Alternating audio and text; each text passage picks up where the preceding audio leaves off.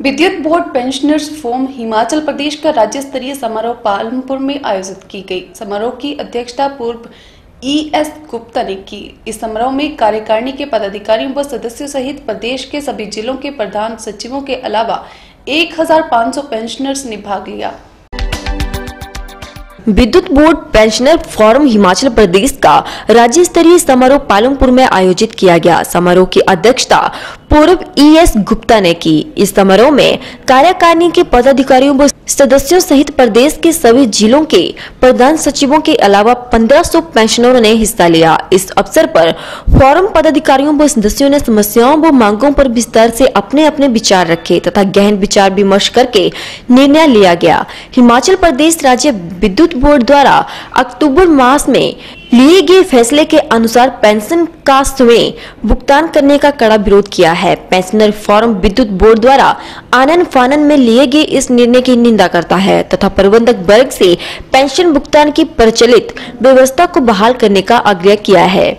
Forum के अध्यक्ष सेवानिवृत्त ई एस गुप्ता ने कहा कि विद्युत board pensioner forum Himachal Pradesh की प्रदेश स्तरीय समारोह कई वर्षों से लंबित पड़ी मांगों और समस्याओं पर विचार विमर्श किया गया है। उन्होंने कहा कि 70 या 80 साल की आयु के बाद पेंशनरों को जो 15 प्रतिशत अलाउस किया जाता है उसे मूल पेंशन में दिया जाए, जिसे सरकार और बोर्ड ने बड़े सालों से लटकाया हुआ है। और पेंशनरों को जो बढ़ी हुई पेंशन 1 अक्टूबर 2012 से दी जा रही है, वह 1 जनवरी 2006 से दी जाए, जिसका कोर्ट ने आदेश दिया है। मैं विद्युत बोर्ड पेंशन फॉर्म का एस गुप्ता प्रेसिडेंट बोल रहा हूँ।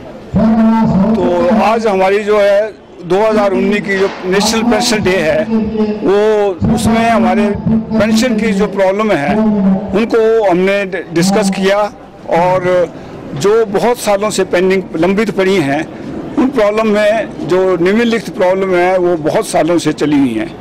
एक तो सबसे पहले जो है, जो बस सत्तर, पचहत्तर, अस्सी साल के बाद पाँच दस परसेंट, पाँच दस पंद्रह जो पेंशन अलाउंस दिया जाता है, उसे हम चाहते हैं कि मूल पेंशन में, बेसिक पेंशन में उसको जोड़ा जाए, जो कि सरकार और बोर्ड उसको बड़े सालों से लटकाए हुए हैं। इसके अतिरिक्त एक एक 2006 से जो रिवाइज ग्रेड पे दिया हुआ है, वो एक दस बारह से दिया गया। सुप्रीम कोर्ट में भी डिसीज़न है कि इसको एक छः हज़ार दो, एक एक दो हज़ार छः से दिया जाए। लेकिन वो भी हमें बड़े सालों से अभी तक लंबित ही पड़ी है। लोगों को क्रॉनिक बीमारियाँ होती हैं तो हम चाहते हैं कि जो प्राइवेट हॉस्पिटल के जो जो पेशेंट जाते हैं, वहाँ पे उनसे जो है रेट अपने हिसाब से चार्ज करते हैं और जबकि गवर्नमेंट से जो है हमें, वो उनके रेट के हिसाब से मिलते हैं। तो हमारी मांग इसमें ये रही कि रेगुलेटरी बॉडी एक फिक्स की जाए बनाई जाए, जिसमें कि यहाँ इंश्योर किया जाए कि जो गवर्नमेंट के रेट और प्राइवेट रेट जो है, उनका मैच किया जाए।